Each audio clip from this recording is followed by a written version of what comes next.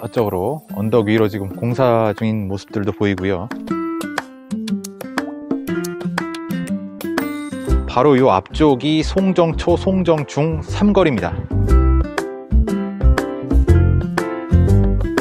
지금 걷다 보니까 여기까지 나오게 됐는데요. 우리 마을은 저쪽에 있고요.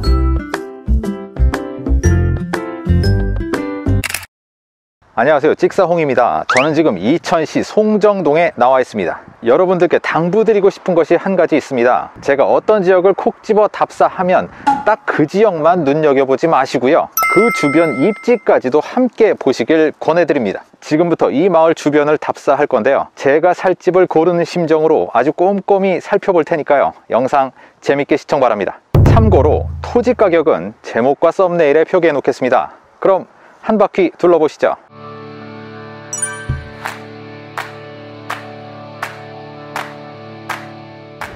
아이 키우기 딱 좋은 전원마을. 이천시 송정동 타운하우스를 한마디로 표현하면 이렇습니다.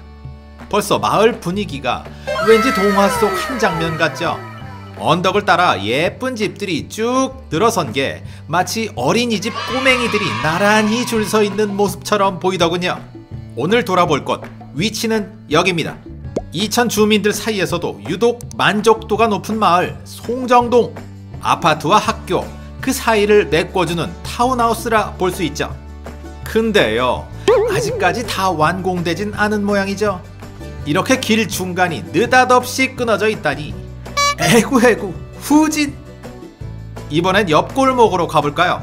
길은 빠져나갈 데가 없이 긴데 차량이 중간중간 서 있는 반대쪽에서 차가 오면 부득이 눈치 게임을 벌여야 하는 골목. 아하, 여긴 또 웬일? 공사비 관련한 문제가 있나 봅니다. 또 길이 막혔으니 일단 후진! 집마다 개별 주차 공간을 한 대씩 똑같이 설치한 게 인상적이네요. 정원 크기도 소가족이 꾸미기엔 딱 좋은 아담한 크기. 잠깐 잠깐. 우리 집 보러 온 거 아니잖아. 더 중요한 입지를 봐야죠. 이번엔 큰 길을 이용해 마을 아래쪽으로 내려가 보겠습니다. 여기도 쭉 이어서 타운하우스들이 시공될 모양인 듯 이 아래쪽까지 계속 집이 생기면 그야말로 대단지 더 근사한 마을이 되겠군요. 이제 마을 아래 번화가 쪽을 살펴볼까요? 길 따라 작은 빌라들이 쭉 늘어서 있고요. 다 내려오면 아파트 건물들 사이 큼직한 상가들이 여럿 보입니다. 건물 상층부까지 가게가 꽉 들어찬 모습이 눈에 띄었는데요. 작은 상권이지만 뭔가 활력이 넘쳐 보였습니다. 자세한 건 이따가 걸어서 확인해 보도록 하고요. 이제 다시 마을로 돌아가 보죠. 차로 천천히 움직이다 보니 이것저것 궁금한 게 생겼습니다. 진짜 애들 키우긴 딱 좋은 동네네. 근데 대중교통은 어떨까? 지하철, 버스는 괜찮나? 초중학교는 아까 확인했고 그외 아이를 위한 공간 주변에 더 없을까? 대형 마트와 종합병원 당연히 체크해봐야겠지. 어디에 어떤 게 있을까? 근처에 브랜드 아파트가 공사 중이던데 뭐 특별한 호재라도 있나? 또 주변에 가볼 만한 곳은 어떤 게 있을까? 이 정도면 대략적인 이 마을 분위기는 파악되셨을 겁니다. 그럼 아까 떠올렸던 그 작은 질문들 저와 함께 직접 걸어보며 확인해 보시죠. 본격적인 도보 여행 함께 시작해 보시죠. 저 앞쪽이 바로 타운하우스고요. 약간 언덕을 따라 이렇게 올라오면 바로 이 앞쪽이 송정초, 송정중 삼거리입니다. 저 굴다리에서부터 이렇게 내려와서 요 아래로 이렇게 내리막이 형성되어 있습니다. 마을 위치 솔직히 사통팔달과는 조금 거리가 있습니다. 산 아래쪽에 살짝 폐쇄되어 있는 게 사실이니까요. 먼저 지하철만 해도 역시 좀 떨어져 있죠. 가장 가까운 경강선 이천역이 여기서 직선 거리로 약 3km. 근데 이 정도는 전원마을에선 역세권 축에 속합니다. 게다가 우리에겐 버스가 있잖아요. 보세요. 이천역으로 가는 다양한 노선들이 참 많네요. 또 중간에 이천 터미널도 지나고요. 지금 걷다 보니까 여기까지 나오게 됐는데요.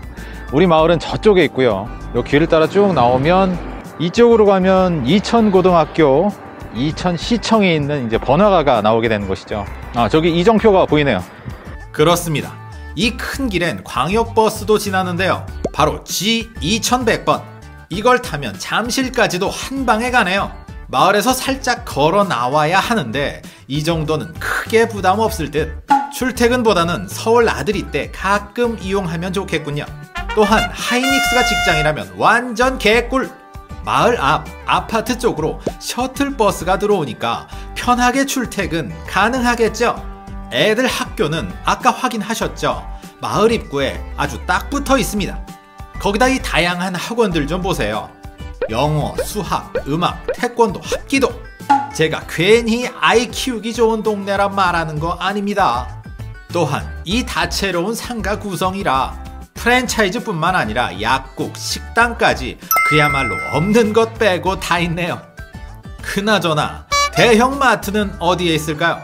크게 두 개의 브랜드 모두 10분 거리에 있는데요. 여기보다 아파트가 많은 증포동에 이마트가 있고요. 이천 시내 쪽으로 10분만 가면 롯데마트가 나옵니다. 종합병원이요. 다행히도 참 가깝습니다. 최근 깔끔하게 새단장한 경기도 의료원 이천병원이 여기서 5분 거리에 있네요. 어, 저는 지금 마을 옆으로 이어진 산책로를 따라 걷고 있는데요. 아, 분위기 참 좋네요. 아이 키우기 딱 좋은 전원 마을. 이런 이쁜 산책로, 공원 많으면 많을수록 아이들이 좋아하겠죠. 근데 이 동네 앞으로는 아이들이 더 좋아할 것 같네요. 마을 뒤쪽으로 대형 공원이 조성될 예정이니까요. 바로 부악 근린공원, 잔디마당, 어린이 정원, 키즈 카페, 가족 피크닉장, 경관정원, 산마루 쉼터 등 레저 문화의 종합 선물 세트가 바로 집 앞에 탄생! 여기 살면 주말마다 애들하고 뭐하고 놀까 걱정할 필요가 없겠군요.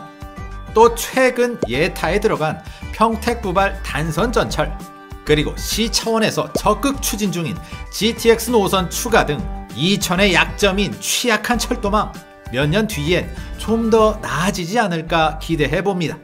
아, 이 언덕으로 오니까 저쪽에 마을들이 보이네요. 저쪽으로 지금, 저쪽으로 언덕 위로 지금 공사 중인 모습들도 보이고요. 아, 주변에 가볼 만한 곳이요. 이천의 대표적 관광지죠. 설봉 호수공원이 여기서 7분 거리에 유명한 세종대왕릉이 여주 쪽으로 30분만 가면 나옵니다.